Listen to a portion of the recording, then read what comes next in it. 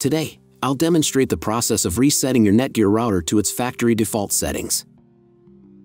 Before starting, it is important to note that resetting the router to factory settings will erase all of your router's settings. But don't worry about it. My channel has videos that can help you set up your router. All the links are in the description.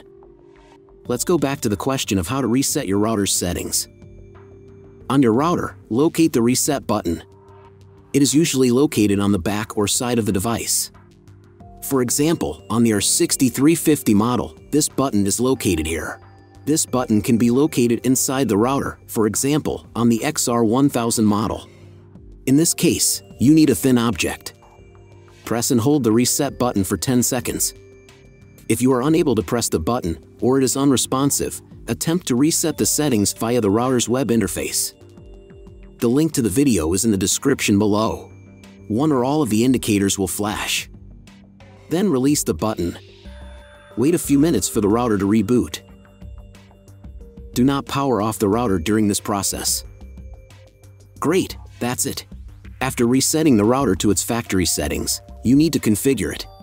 Check out my other video, how to do it. In the description to this video, you will find playlists for different router models.